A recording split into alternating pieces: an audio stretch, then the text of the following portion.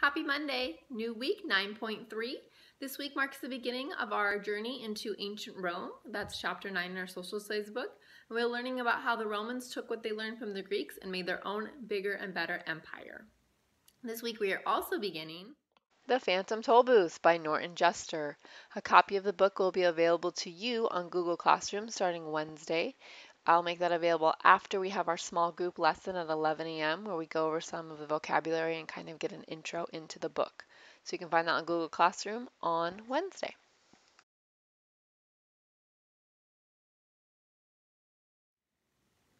I also want to just go over very quickly some of the documents that I've shared with you today and some more that are coming later this week.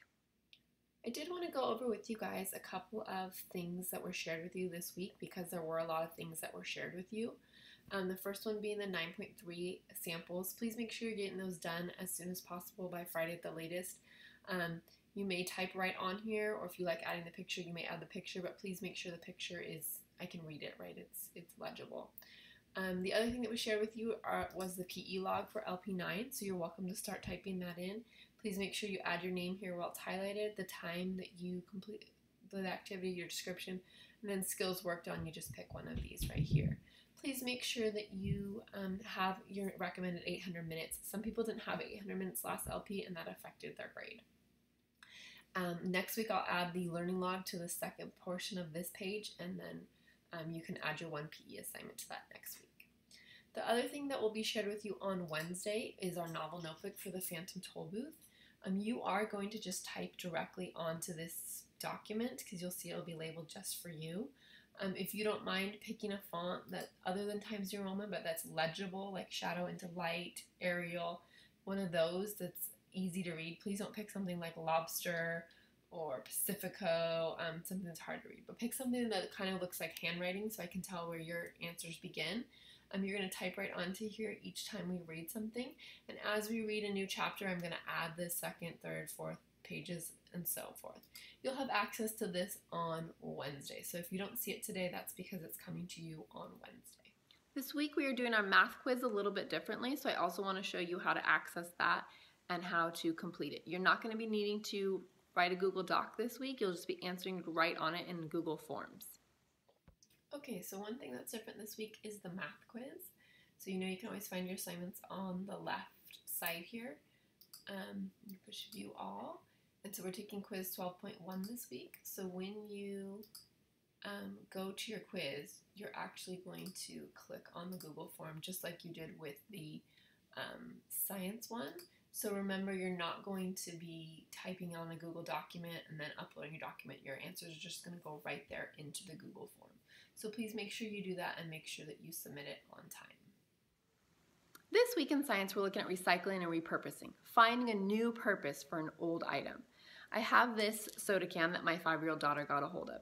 When you think about the original purpose of a soda can, it's to hold a beverage. But once you drink that beverage, the soda can doesn't really have a purpose anymore. So my daughter got a hold of it, decorated it, turned it into a little robot guy, right? So now its new purpose is to be her toy. That's exactly what we're doing in science this week, turning something that's no longer useful into something useful. Although you're going to do something a little bit more complicated since you're more than twice her age.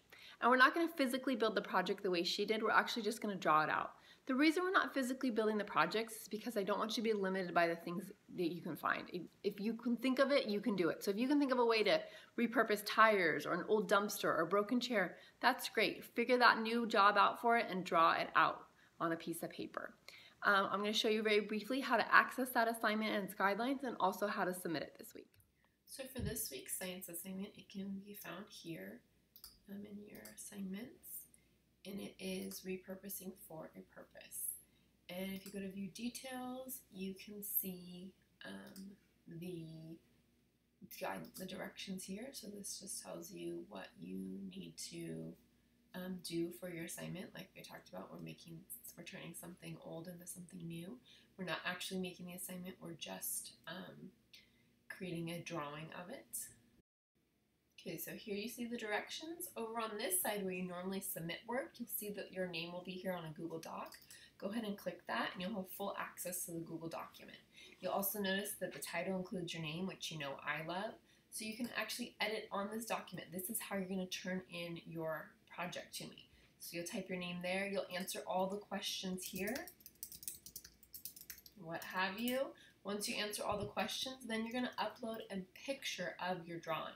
Remember, you don't actually have to build the project, you're just doing a colorful drawing for me. So that being said, your drawing should be neat, it should be detailed, it should be very clear what the thing is and how it's being used now.